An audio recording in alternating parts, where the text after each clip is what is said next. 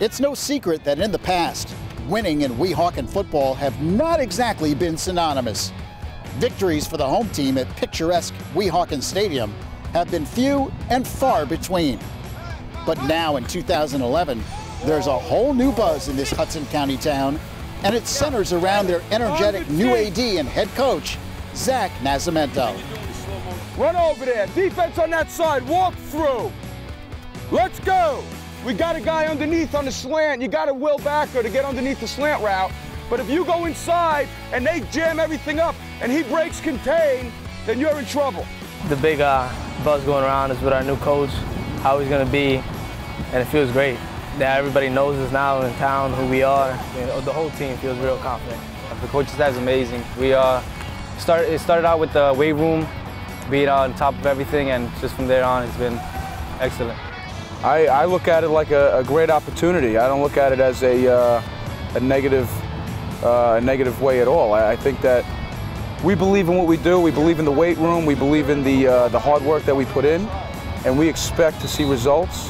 I was hired in February to, uh, to be the football coach, and I've been in the weight room with these kids since February 17th, consistently, not once in a while. It's been a four or five day program since February. The other big part of this story is the father-son, assistant coach, head coach combination of Zach Nascimento and his dad, Bruce Nascimento, the Indians' offensive coordinator. Well, I asked him like twice, are you sure you want me to come with you? You know, and he said, yeah, I want you to come with you. Well, one thing is respect. I mean, I, you know, I appreciate him saying that, and, you know, being with my son is, is such a blessing you know, to be with him every day. And, and you want to know something? It's his time. It's his turn. So it's great to be with him. And uh, I interject things at different times.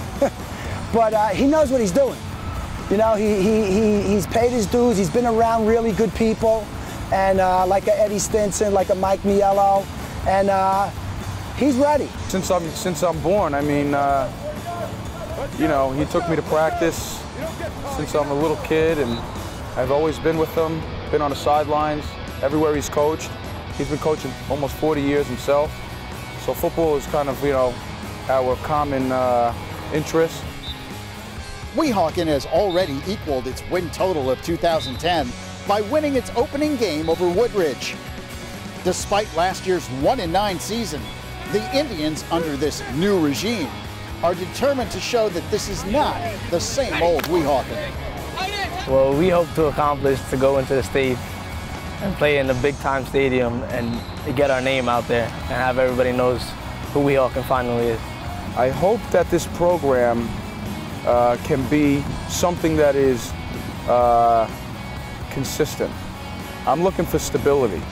And you know, you win, you win, you win, you It's not always about that. I think I think that we have such a nice vibe and a buzz going right now, even with our rec programs, that, uh, you know, it's fun. Football should be fun. You know, I mean, it, and, it, and it don't happen by accident. It takes a lot of work, but it should be fun. And, um, you know, I guess that's my message. I think I'm almost like, uh, the kids look at me, I think that they think, you know, that this is uh, consistency, there's consistency, there's a, there's a foundation, there's something stable that they can kind of grab onto and believe in. And uh, I guess that's what I'm hoping to accomplish.